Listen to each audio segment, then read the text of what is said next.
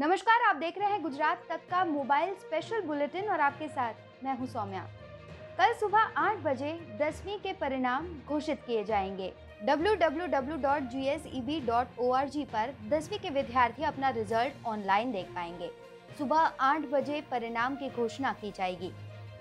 इस साल दसवीं में दस लाख तिरासी हज़ार विद्यार्थियों ने परीक्षा दी थी, जिनके कल परिणाम घोषित किए जाएँगे। कोरोना महामारी की।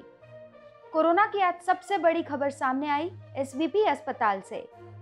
अस्पताल के पैरामेडिकल और नर्सिंग स्टाफ के 2400 जितने कर्मचारी हड़ताल पर उतरे, जिनकी तनख्वाह को काटा गया था।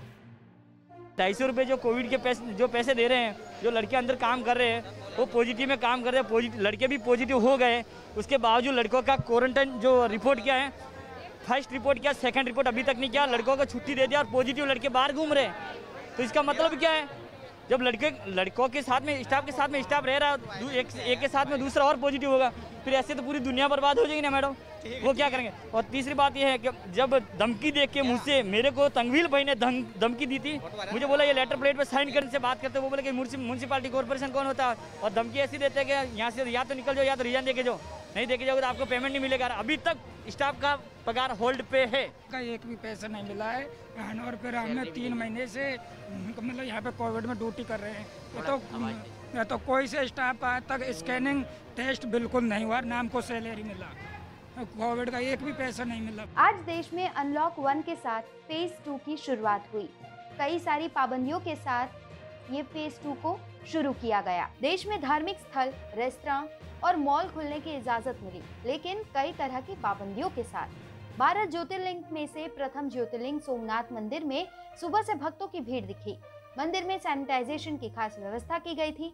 भक्त मुँह पर मास्क लगाकर और साथ में सोशल डिस्टेंसिंग का पालन करते हुए नज़र आए। फ़ेज़ टू में तकरीबन दो महीने के बाद मॉल खुले। कैसी तैयारियाँ नज़र आई? आइए दिखाते हैं आपको।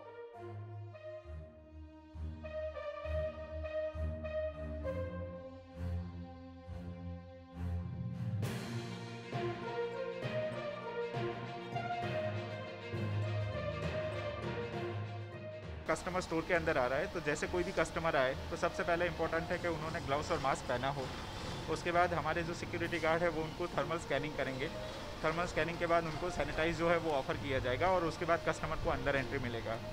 अंदर एंट्री आने के बाद कस्टमर पूरा स्टोर जो है, वो ओपन है, जहाँ से वो शॉपिंग करना चाहे, वो शॉपिंग कर सकते हैं।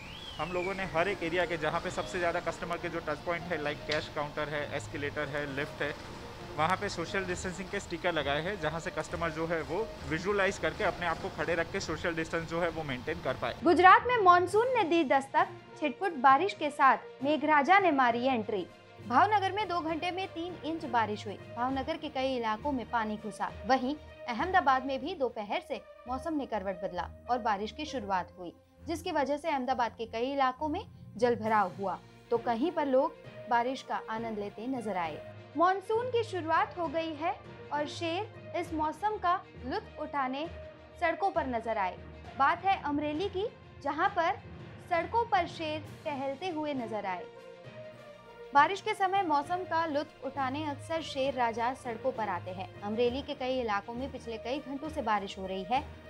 ऐसे में बारिश के मौसम में शेर रास्तों पर टहलने निकलते हैं, जिसकी तस्वीर अब सोशल मीडिया पर खूब वायरल हो रही है।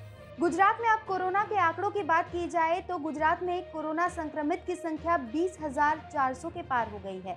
अहमदाबाद जो हॉटस्पॉट में है अहमदाबाद में ये संख्या 14,500 के पार हो गई है।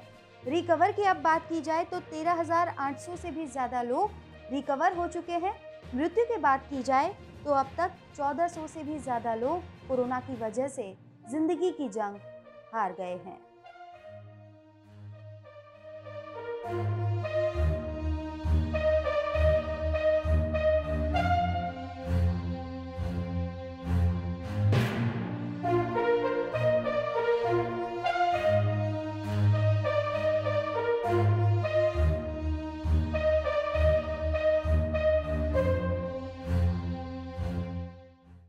गुजरात तक के स्पेशल मोबाइल बुलेटिन में अभी बस इतना ही। गुजरात की बाकी सारी खबरें देखने के लिए आप देखते रहिए गुजरात तक। अपना बहुत ख्याल रखिए। दो गज दूरी अक्सर बनाए रखिए। नमस्कार।